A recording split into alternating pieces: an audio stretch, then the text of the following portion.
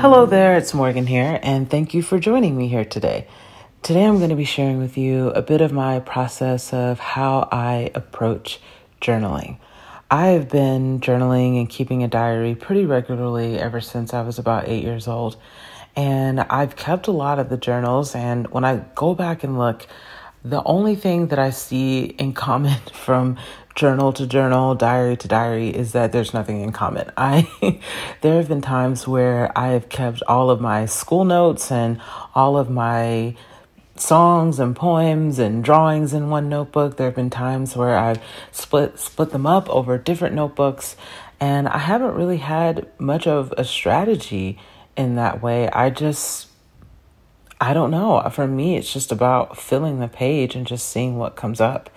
And I like to try different pens and pencils and markers. And I like to think that this is just something that I can have where I can just kind of be free and do what I want to do. At, at the top of this page, I started writing just, you know, sometimes I just start filling the page. Sometimes I just start writing, not knowing what I'm going to say.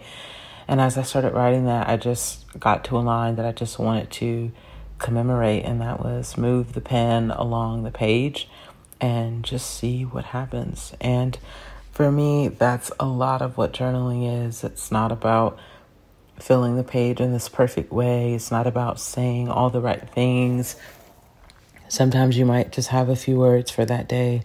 You might just have a few lines. You might just have a flower you want to draw. And that's okay. This is the space to do that. You know, life is filled with things that we have to do, need to do. And this is the space to color outside lines or just try something. And you can just be free and write what you like. So that's sort of my main approach to journaling and I would say my default approach to journaling and I this is kind of like you know if I just go and open a notebook this is what I do. I'm not really thinking about what I'm writing for or who I'm writing for or any of that. I just start going and just seeing what comes up. And I think some of that may come from as a kid I dealt with um, dyslexia, and writing was very, very therapeutic and calming for me. So I guess for me, it's kind of always been about just writing the letters themselves. And then letters turn into words, and words turn into sentences, and sentences turn into paragraphs. And before you know it, you have filled a whole book. So, yeah, that's kind of my approach with this new journal that I actually got a chance to create with Fringe Studio. This next style of writing that I will lean into from time to time is called morning pages. I did not invent morning pages. I actually discovered morning pages from Julia Cameron, like many others, and I she's a writer and she writes a lot about creativity and she recommends starting the day with three pages that you just write and write and write until you fill the pages. And, you know, it doesn't matter if you feel like you're just rambling, it doesn't matter if you feel like you're not saying anything. It's just a way of getting into the rhythm of writing, and it's kind of like a brain dump. And because I've been doing morning pages for a while, um, I would say it started out as a brain dump, but now I, you know, I maybe have like a quarter of the page now that's brain dump. And as I start to go along the way, I do start to think of things that I actually want to say, questions that I have, maybe about things going on in my life, or questions that I want to ask someone else, or different things that I want to share with others.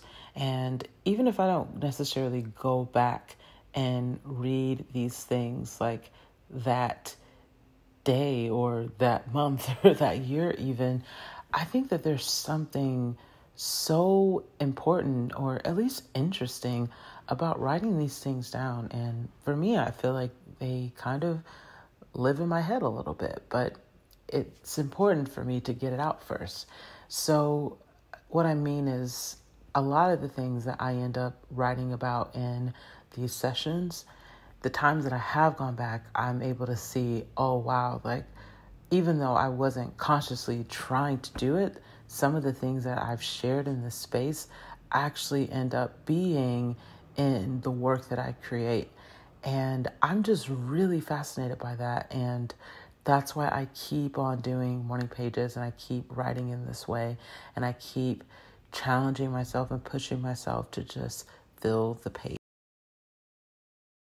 Now, here is a little example of how I did take something from morning pages and I decided to highlight it on its own page and add a few pastels and just really bring life to this particular part. And it's not even so much to make art out of it that I'm going to share with others, but I wrote something that I know that I need to be reminded of because I oftentimes find myself trying to do things perfectly and I find myself trying to to make everything just right. So I actually wrote down brokenness leads to openness and openness needs leads to connection. And from there as I started to think about connection and I was like, "Oh, that's really interesting like sometimes I can't find connection when I'm pursuing perfection." And I was like, "Oh, connection perfection, they kind of rhyme in a weird way. So I'm flipping to the next page and I'm writing connection over perfection. And again, this is something that I'm not even sure if this is something that everyone else will want to read or that I would even that I would even want to read a day from now or a week from now or a year from now, but I know that I need it right now. I know that that's something that I need to be reminded of. So this is a way of commemorating that in this present moment and making something of it. So, you know, I would say in your journal, sometimes there are things that you just need to hear, and maybe you don't have to fill the page. Maybe you can just write that one word or two words or few words down, and you can just commemorate them and and honor that moment and say, yes, this this matters right now, and I just want to just make a little room on this page just for those words. Another way that I tend to feel the pages of my journal is by simply just doodling, drawing lines, drawing flowers, just allowing myself to go beyond the words.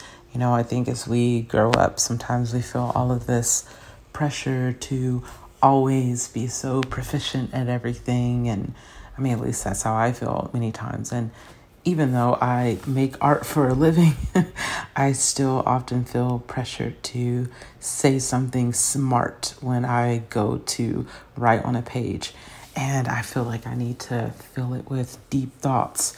But honestly, sometimes simple, badly drawn flowers is more than enough. And sometimes it's just a way of clearing the mind that matters in that moment. So I have been making a practice even more lately to just draw and just doodle and not even worry about what looks good or doesn't look good. It's not what that that's not what it's about. It's about the process, it's about the practice of creating. The practice is so important. Practice is so much better than trying to be perfect. And this not only applies to journaling, but this applies to life. And I have just found that journaling is a place where I'm reminded of this. So when I take the time to just use an ink pen, something that doesn't even have a have an eraser, it doesn't have an eraser, and just draw and draw away and allow myself to make mistakes. When I look back on it, I see that I still managed to fill the page. I still managed to do something, and the mistakes are a part of it. The mistakes are a part of what makes me human, and it's a part of the lessons that I'm learning. So, these are just a few of the lessons that I learned from journaling on a regular basis, and I've been journaling and keeping a diary for a very, very long time. So, I would definitely say that if you're wanting to fill your own journal and you're wanting to make more or you know just do more with the journals that you already have or you just got a new journal i will say that it's okay to pace yourself like it's okay if you have to spend some time getting used to making mistakes. Um, what matters is that you're doing it you're trying and you are taking this time to just be present